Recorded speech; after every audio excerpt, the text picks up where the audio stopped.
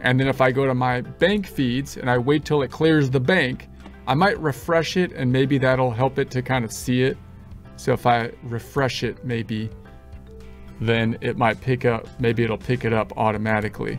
So then I'm going to go down, let it think. Yeah, it does. So, so there it is. It picked it up just by the dollar amount. So then it said, Hey, I found a match. That's what it's saying. I can, I speak QuickBooks. So I'm interpreting it for you. It says it just like that. It's like, Hey dude, I found a match. So we have the match here. So now this isn't going to do anything when I record it because I already recorded in essence a deposit.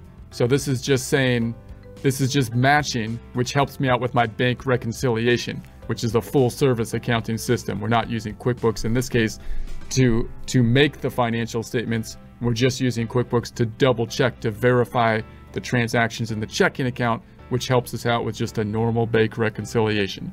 So I'm going to say match on that. And there it is. No, no uh, difference happened over here to the, to the, to the uh, actual transactions in my bank statement. It just verifies.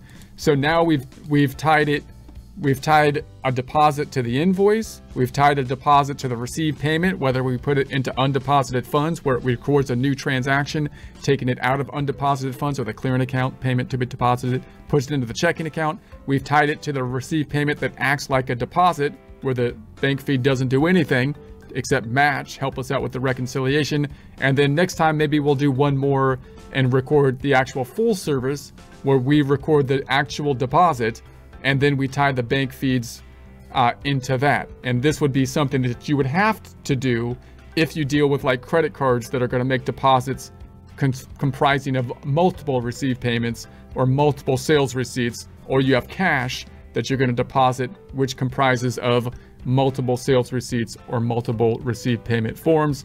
We'll dive into that more next time.